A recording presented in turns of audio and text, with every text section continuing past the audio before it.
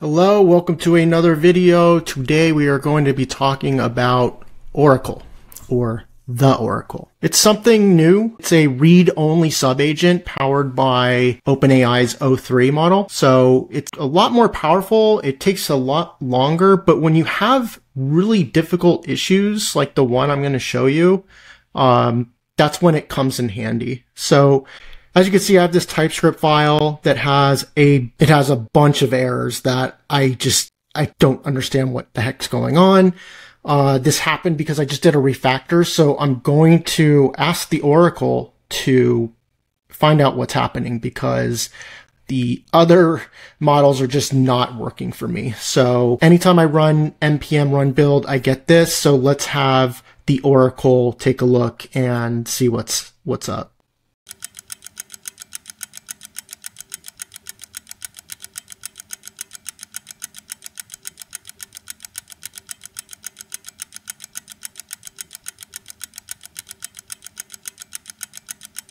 Okay, let's see if this is actually going to work finally. Okay. Thank you, Oracle.